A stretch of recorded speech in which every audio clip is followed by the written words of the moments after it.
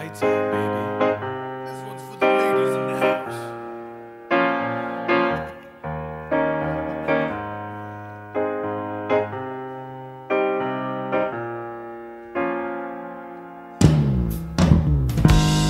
No, it sounds funny, but I just can't stand the pain.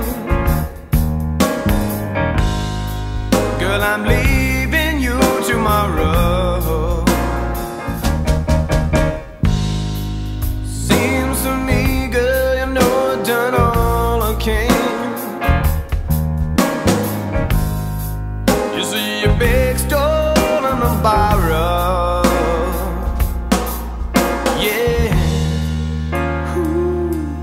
Why me?